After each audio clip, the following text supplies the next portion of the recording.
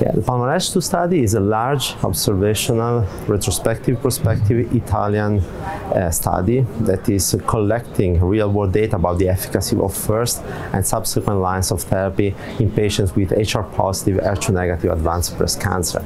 And uh, in this specific analysis that I will be presenting here at ASCO, I will be showing the real world efficacy comparison of the three CDK4/6 inhibitors, palbociclib, ribociclib, and abemaciclib in combination with first line endocrine therapy in patients uh, with HR positive, HER2 negative advanced breast cancer.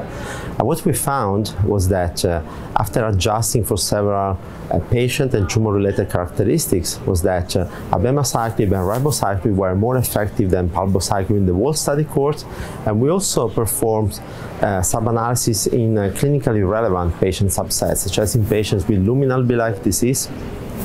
or in patients with liver metastasis, in premenopausal patients, and uh, uh, also in patients with de novo metastatic disease. And what we found was that uh, um, different CDK4/6 inhibitors have different efficacy in different in these different settings. For instance, in patients with endocrine-resistant disease, luminal B-like disease, and in patients with uh, who are premenopausal, we found that abemaciclib and ribociclib are more effective than palbociclib.